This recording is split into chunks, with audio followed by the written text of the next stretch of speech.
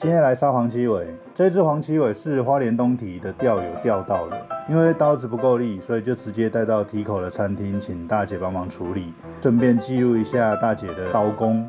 季亚的切法，它还是以三枚切法的方式来切，但是它有多了一个动作，它直接把尾段的部分切断，尾巴的部分可以拿去煮汤，身体的部分的话比较合适做生鱼片的部分，它就一样用三枚的方式把它切下来。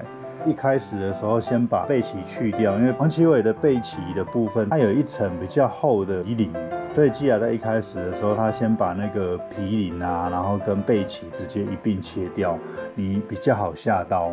其他动作的话，其实跟我们一般的三枚切法的方式差不多。像上次我在杀鬼头刀的时候，也有观众建议我换刀子，就是不要用小刀子在杀，因为小刀子杀鱼真的杀的会很辛苦。也是建议我直接买刀。在鲨鱼上面的话会比较好杀，就是不会说哦去除个筋膜，然后去老半天之类的。像今天这个季啊，他在处理这条黄鳍尾的时候，他主要用了三把刀子，一把比较长的菜刀，然后主要是去除鱼头、鱼尾，然后跟背部的硬鳞、硬鳍的部分。那他在三片去下鱼骨的部分的时候，他就是用鱼刀。他在切生鱼片的时候，又有另外一把适合切生鱼片的刀子。就是杀一条鱼，他用了三把刀子来分别处理不同的部位。用对刀子的话，就真的是事半功倍，就不会像小饼用了两把都不叫没有那么合适的刀子，然后杀了老半天。不过小饼的刀子也不知道哪时候才来，因为我已经订了一个礼拜。观众推荐的正广座听说还不错，就是日本算比较平价的刀子，不知道切起来怎样。听说用起来还蛮好用的，就是便宜好用啊。看看下次自己杀的时候会不会进步一点。不过鲨鱼要进步，真的就是要自己多练习。看影片归看影片，但是实际上你在杀的时候还是会有一些秋楼，还是得多练习。既然它有一些切法，它的秋楼比较特别，它直接把头尾的部分去掉之后，然后用三美的方式将呃中骨直接切下来。但它的去皮方式跟去侧骨的方式跟我们一般的方式会不太一样，因为我们通常都是先去皮再去侧骨，就他在除侧骨的时候，他顺便把皮一并给剥离下来。我觉得这个方法其实也蛮厉害，但是还蛮考刀工的。他这种方法，老实讲，我觉得比我之前的去皮方式还难，就是用三枚片法，然后横拉去皮的方式还要有难度。对啊，因为它等于是你刀子切入到接近皮的位置的时候，它是顺着内皮的部分，然后将皮肉给分离。这个真的是你要杀好几次，你才有办法把鱼条给杀得这么漂亮，而且还这么快速。既然还是有用水直接冲洗，只是说它的水都是用在清理台面啊，然后清理手套啊、刀具的部分，它不会直接用淡水然后去清理鱼身。那我觉得这个部分其实就会像之前讲的，就就像大部分的人会比较在意渗透压的问题，就是淡水冲鱼肉鱼体的时候，因为渗透压的问题，淡水跟咸水渗透压不同，所以会让血水反而会往内流，不会流出来。之前跟其他钓友在讨论的时候，得到的结论是这样子的，就是尽量不去用淡水去冲洗。当然，还是有一些钓友会觉得说，这样子的渗透压的问题，就是淡水去冲洗的时候，其实不会影响太大。那如果说会在意的话，通常大家还是会尽量的去避免淡水去冲洗到鱼肉的部分。然后，现在处理生食跟要料理用的砧板。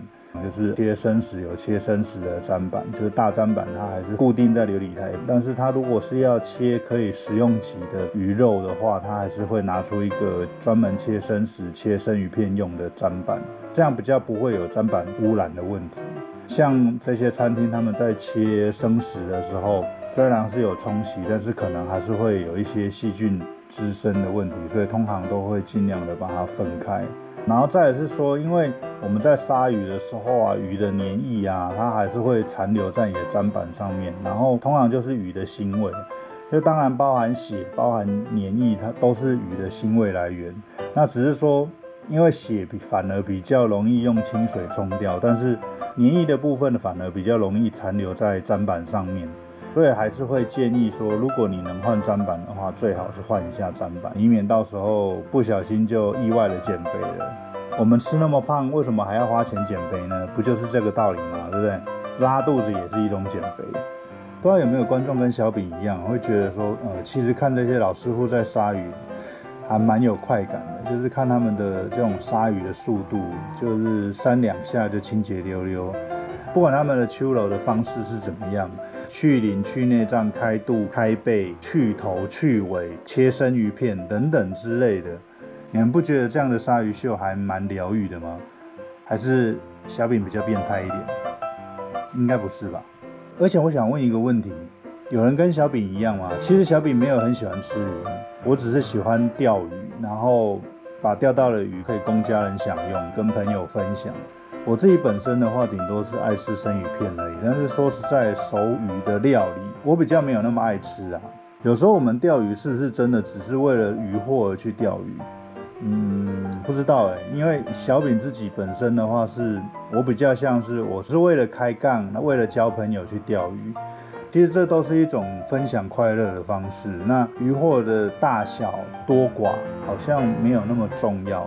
说不在意鱼获也是骗人，但是我也更在意说跟谁去做钓的状况、做钓的心情，然后跟朋友聊天打屁的过程内容。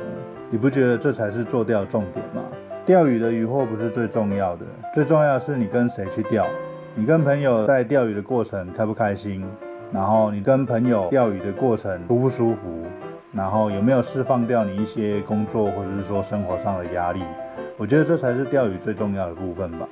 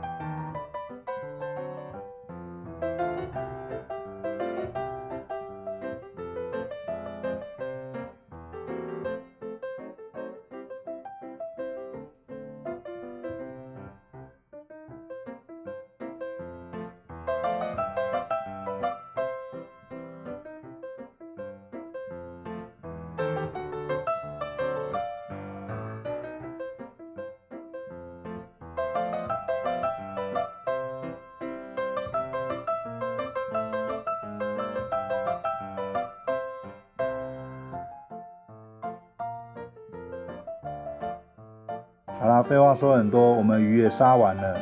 那如果你喜欢这支影片的话，欢迎帮我订阅、按赞、分享、留言。那我们就下集再见，拜拜。好喽喽，我们来抽出上次的鬼刃魔术别针的五位得奖者。我们先将网址贴到小帮手里，然后只要你在那支影片有留言 MIT 鬼刃 Ghost Bread，你就有机会抽到这次的奖品。抽出五位人数，恭喜你，阿木、飞利浦、文荣哥、刘文哥、志勇哥，恭喜你们五位得到这次的抽奖。然后要麻烦你们把收件人的姓名、电话、地址、邮递序号，然后 T 恤的尺寸，然后跟你们希望两包的魔术转环的号数。这些资料都一并寄给我哦，然后我再将你们的资料再转交给厂商，厂商会尽快的把你们的得奖商品，然后寄到你们的手上。希望你们会喜欢这次的抽奖，然后我们就下集再见。如果你喜欢这支影片的话，欢迎订阅、按赞、分享、留言。那我们就下集再见喽，拜拜。